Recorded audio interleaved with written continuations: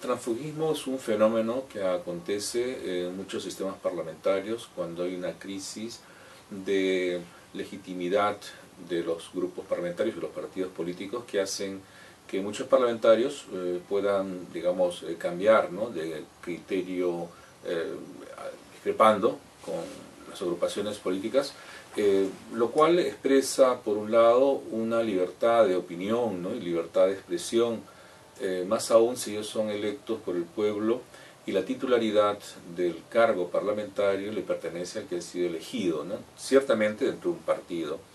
Y por otro lado, claro, existe la necesidad de organizar el funcionamiento del Congreso a través de grupos parlamentarios, pero eh, esta organización tiene que respetar eh, precisamente eh, estos derechos que tienen los representantes del pueblo a llevar a cabo una política. ¿no? Más aún si es que a veces los grupos parlamentarios cambian de opinión de acuerdo a las ofertas electorales. ¿no?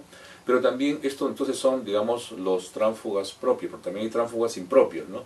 que son aquellos que por razones que no son ni lícitas ni, digamos, entendibles, eh, cambian de posición, ¿no? dependiendo de las circunstancias y coyunturas, dejando atrás los lineamientos de campaña o de su propio partido. ¿no? Yo creo que eh, el reglamento, cuando ha sido modificado, eh, precisamente está afectando a quienes son personas disidentes en un sentido legítimo y propio, ¿no? de discrepar, ¿no? de votos, por los casos que se han conocido, no los impropios. De ahí que creo que la sentencia del Tribunal Constitucional restituye ¿no? los derechos de estas minorías, que también tienen derechos fundamentales como parlamentarios, a poder discrepar y en consecuencia se restablece el derecho y la democracia del funcionamiento de los miembros del partido, de los partidos en los grupos parlamentarios cuando disienten de sus liderazgos.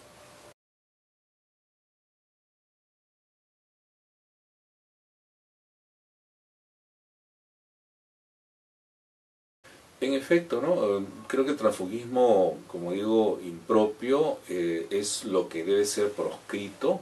Eh, y así, por ejemplo, en el año 2000 hubo más de 10 congresistas que dejaron sus bancadas para pasarse a la bancada del partido de gobernante en ese entonces, de Fujimori, pero a través de prebendas, ¿no? que el asesor presidencial David Montesinos ofreció y obtuvo ¿no? de muchos parlamentarios. ¿no?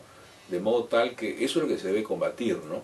que haya un transfugismo impropio que afecta a los derechos. Ahora, eh, y se puede desalentar, ¿no? se puede obviamente morigerar ¿no? Eh, este tipo de medidas, eh, pero no en la forma como creo ha realizado este, esta modificación del reglamento del Congreso, porque atenta contra principios y derechos fundamentales de los parlamentarios disidentes. ¿no?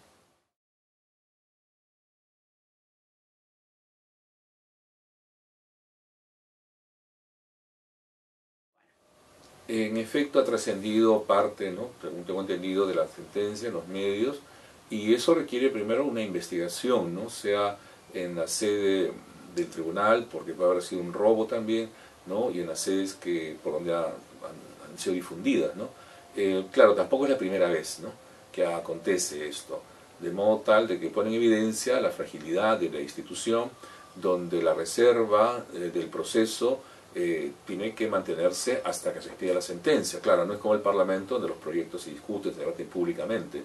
Este debate es colegiado ¿no? y cerrado porque los tribunales hablan a través de las sentencias, no pueden hablar o deliberar para generar, eh, digamos, seguridad y predictibilidad en la decisión que vayan a tomar. ¿no?